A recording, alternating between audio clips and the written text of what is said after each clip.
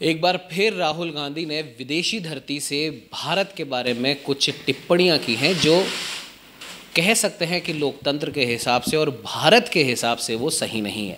आपको बता दें कि वॉशिंगटन डीसी में जाके राहुल गांधी ने कई सारी चीज़ें कही हैं। उस पर बात करने के लिए हमारे साथ प्रदेश प्रवक्ता पंकज मीणा जी मौजूद हैं। भाई साहब एक बार फिर राहुल गांधी विदेशी धरती पे गए और उसके बाद उन्होंने सिखों के लिए, भारत में आरक्षण को लेकर कई सारी बातें कही हैं। क्या कहना चाहेंगे?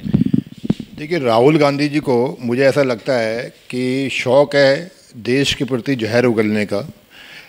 आप ना केवल विदेशों में जाके भारत को नुकसान पहुँचाने की कोशिश करते हैं, अपने बयानों के माध्यम से, साथ ही जिन देशों के हित भारत से जुड़े हुए नहीं हैं, जिन देशों की प्रवृत्ति भारत के विरुद्ध है, आप विदेशी धरती पे जाके उन देशों की तारीफ़ भी करते हैं।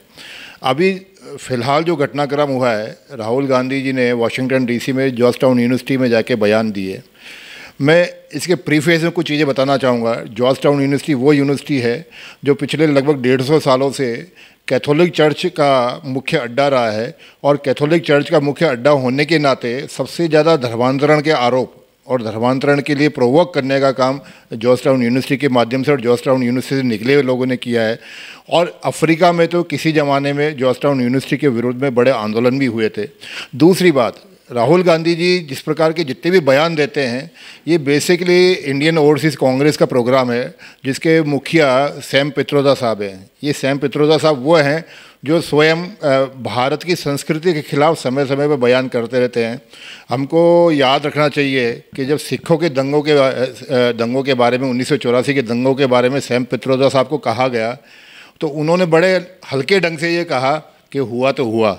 ऐसे ही पुलवामा हमले के बाद कहा गया तो पुलवामा हमले के टाइम पे भी उन्होंने एयर स्ट्राइक को लेकर, पुलवामा हमले को लेकर हमारी भारतीय सैनिकों को मनोबल गिराने के लिए पूरे घटना की निंदा की थी और न केवल निंदा की थी, बड़े हास्यात्मक बयान दिए थे। तो मुझे ऐसा लगता है कि इन सैम पित्रोदा साहब को पिछले छः साल के अंदर कांग्रेस तीन बार निकाल चुकी है। ऐसे सैम पित्रोदा साहब के लिखित बयान के आधार पर राहुल गांधी जी कभी तो आरक्षण के लिए कह रहे हैं कि कांग्रेस सत्ता में आई तो आरक्षण ख़त्म कर देंगे। और अब तो उन्होंने आगे बढ़ के ये और कहा कि वह एज ए पॉलिटिशियन हिंदुस्तान में रहना उनको पसंद नहीं है या हिंदुस्तान में वो रहना नहीं चाहते तो मुझे समझ में नहीं आता कि उनको आज भी इतने पचास साल की उम्र होने के बाद भी अपने ननियाल से इतना प्रेम है तो क्यों नहीं वो ननियाल चले जाते? क्यों भारत की जनता को बरगलाने का काम कर रहे हैं और विशेषकर भारत में रह के भारत के समाज को तोड़ने का काम कर रहे हैं? मुझे लगता है कि राहुल गांधी को वापस हिंदुस्तान आने पर इन सब बातों का जवाब देना पड़ेगा। साहब, इन सब बातों के अलावा राहुल गांधी ने जो जॉर्जटन यूनिवर्सिटी आपने बताया, वहाँ पर ये भी कहा कि भारत के जो जनता है, वो इन लोकसभा चुनावों के अंदर ढंग से समझ नहीं पाई या भाजपा के, उन्होंने कहा कि भाजपा ने और प्रधानमंत्री नरेंद्र मोदी ने जो खेल रखा, भारत की जनता उसमें फंस गई। क्या आपको लगता है कि उनके इस बयान की कोई सार्थकता भी है?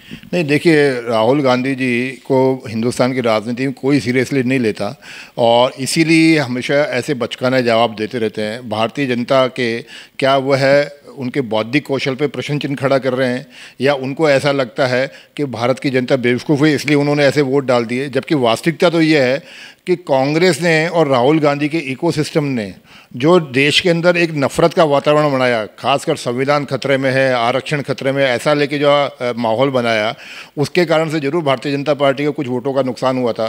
परंतु उसके बावजूद देश की जनता बखूबी समझती थी कि भारत का भविष्य प्रधानमंत्री नरेंद्र मोदी जी के हाथ में सुरक्षित है और इसीलिए हम तीसरी बार सरकार में आए। मैं सब एक और बयान की ओर आपका ध्यान आकर्षित करना चाहूँगा, सिखों को लेके जो उन्होंने कहा कि भारत के अंदर सिख कम्युनिटीज़ अपने आप को सुरक्षित नहीं मानती, जबकि ये बात सबको पता है कि इमरजेंसी के दौरान कई सिखों ने जो उनके जो पाँच चीज़ें जो वो रखते हैं, उन्होंने अपने केश, अपनी दाढ़ी की कुर्बानी दी थी सिर्फ़ और सिर्फ़ अपनी जान बचाने के लिए। देखिए, आज़ाद हिंदुस्तान में अब तक दो, तीन बार नरसंहार हुए हैं। उसमें सबसे बड़ा नरसंहार जो था उन्नीस सौ चौरासी का आ, सिख दंगों का नरसंहार था। और मुझे अच्छे से याद में मैंने उ, मेरी उस वक्त उम्र पर्याप्त थी मैंने देखा था कि कैसे देश के सिखों को दाढ़ी के आधार पे पगड़ी के आधार पे कड़ों के आधार पे जलाया गया मारा गया। और जब इन बातों के केस चले तो सारे जो मुलजिम थे जो सारे अपराधी थे वो कांग्रेस के जगदीश टाइटलर हरि हरकिशन लाल भगत जैसे लोग थे।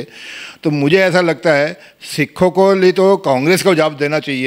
कि क्यों उन्होंने नरसंहार किया? और ये बात तो पटल पे है और सबके रिकॉर्ड में है कि तत्कालीन प्रधानमंत्री और राहुल गांधी जी के पिताजी ने तो इतना तक बयान दिया था कि जब बड़ा पेड़ गिरता है तो छोटे मोटे घास को, पेड़ों को नुकसान होता ही है। तो वो कहीं ना कहीं सिखों को नरसंहार करने के लिए प्रोवोक करने का राजीव गांधी जी का बयान था।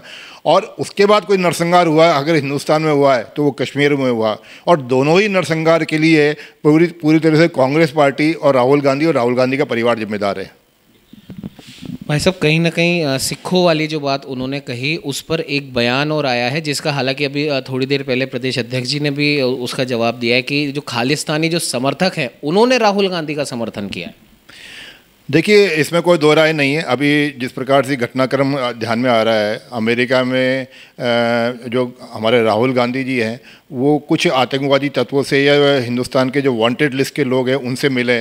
इसी प्रकार से लगभग छः सात महीने पहले इंग्लैंड में भी जो हिंदुस्तान के जो वांटेड लोग हैं, उनसे राहुल गांधी जी के मिलने का कार्यक्रम हुआ था, जिसकी फ़ोटो भी बाद में आए सोशल मीडिया पर आई थी।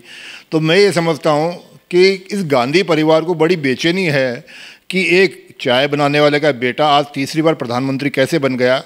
और ये येन केन प्रकार हैं, जिस प्रकार से इनके परिवार की लेगेसी है, उस परिवार की लेगेसी को बढ़ाते हुए वापस प्रधानमंत्री बनना चाहते हैं। और इसलिए ये देश की सुरक्षा से समझौता करने को तैयार है, देश के आतंकवादियों से समझौता करने को तैयार है। और यहाँ तक कि हमारे हिंदुस्तान की जो मूल संस्कृति में है, हमारी समाज व्यवस्था, उसको तोड़ने के लिए भी तैयार है।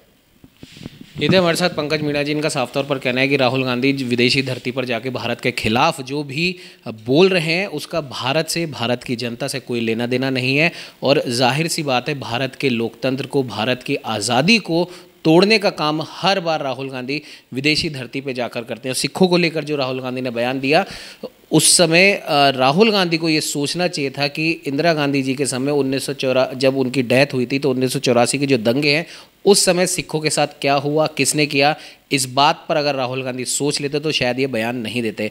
और राहुल गांधी जो कि इंडियन ओवरसीज़ कांग्रेस के प्रोग्राम में जब भी जाते हैं, जिसके कि कर्ता दर्ता सैम पित्रोदा हैं, जो अक्सर भारत विरोधी बातें करते हैं, उनके लिखे हुए बयानों को वहाँ पर पढ़ते हैं और इसी वजह से कहीं ना कहीं राहुल गांधी भारत के खिलाफ बयान देते हैं। भारत में एक राजनेता बनने का सपना तो वो ज़रूर देखते हैं, लेकिन विदेशी धरती पर जाकर खुद को भारत में रहने में असहज महसूस होने तक की वो बात कर देते हैं। अब देखने वाली बात ये होगी कि राहुल गांधी का ये जो बयान एक बार फिर से विदेशी धरती से आया है, वो आगे जाके क्या कुछ अंजाम दिखाएगा।